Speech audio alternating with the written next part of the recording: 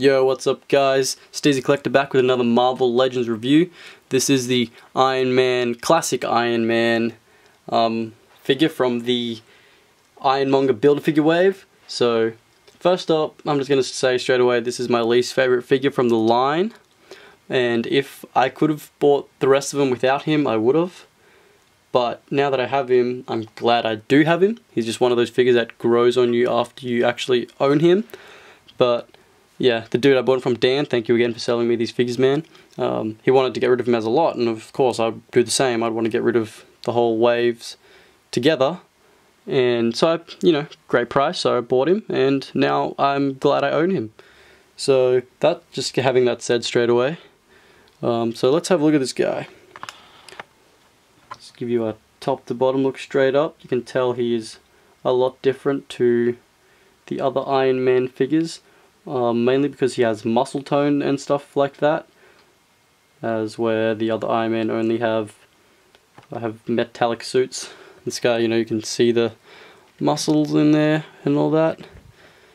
So still suit but that's just how he is. So that, that was the reason I didn't like him. I didn't like that he had muscling like muscle toning and all that. But like I said now that I have him I really really am glad I do have him. Um, he did have two different heads. Comes with this head that I like. Well, we all love some head, right? But this is the head that I like. this is the head that I like the most out of the two. There's this one and a more rounded classic one. I like the uh, one with the little horns. They're like raised at the top there. I like that. I can just gives it. I just reckon it looks better overall. Um, the paint like I, I've seen Shardam's Prime's review of this, and the painting on the like uh, the little black, the eyes and the mouth were way off on his, but mine came out really, really clean.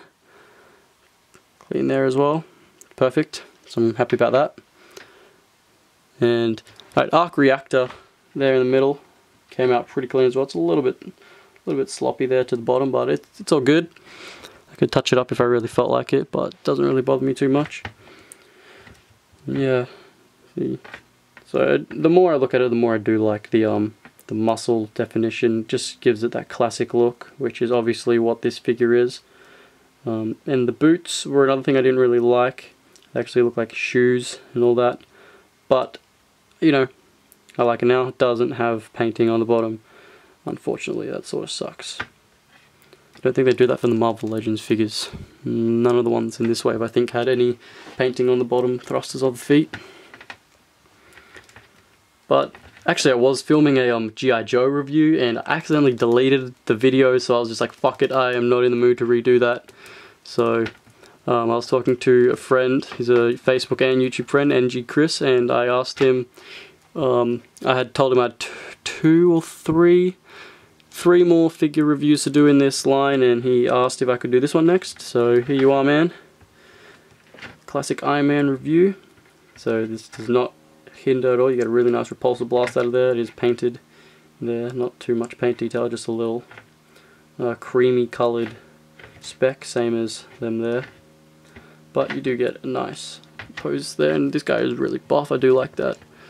Um, he does have these things on him as well they don't move or anything, they're just little knobs there, sort of hinder the articulation of the leg going out that way, so you, know, have to maneuver around that. But whatever it is, it's all good. I just have mine standing up.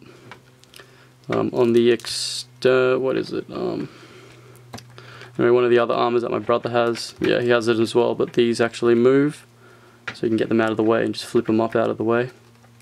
All right, let's take a look at the Take a look at this guy's articulation. Dude, I couldn't even talk in that last review I was doing, man. I was just stuttering for days. Alright. So, the head's to swap out on a ball joint. Nothing too fancy about that. Uh, you get, looks down that much. It's pretty good. Looks up a whole lot, so you get a nice flying pose out of him. Um, rotates, no problem. Yeah, arms go up about that high, down 360.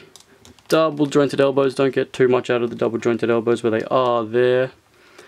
Um, bicep swivel and the wrist rotates and is on a hinge. You get ooh, you get a um ab crunch goes forward that much, back that far, so it's not too bad. It's pretty decent.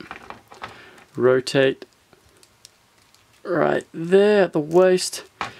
Like I said, the hips are hindered by these, but it's on that uh, the joint where you have to rotate it around and all that.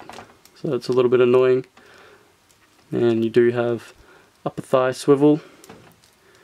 Have double jointed knees. Get a nice good bend out of that. Um, does it rotate there? No, it doesn't. Didn't think it would. Ankle up and down and it does not have an ankle pivot so that sucks.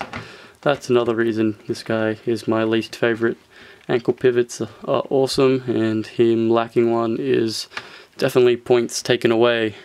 This guy comes in just on six inches. And there's a size comparison between the comic Iron Patriot and the movie Iron Patriot um, he's shorter than both of them and he's a lot shorter than the uh, movie Iron Patriot and in case you're wondering, here's a size comparison to a rice bubble, you know, just because, in case you're wondering, never know. With everything considered, I do recommend this figure. He's still a nice addition to any Marvel or Just Iron Man collection. So do go ahead and pick him up and don't just buy his uh, Build-A-Figure piece. So anyway guys, that was my review. I hope you enjoyed it. Thank you for watching. I'm still pretty new to doing Marvel Legends reviews, but I, I hope I'm doing okay. Um, let me know if you enjoyed by giving me a thumbs up or commenting or something. And stay around because I'm going to take some sweet photos of this guy to have um, after I say bye. So, bye. Peace, dudes.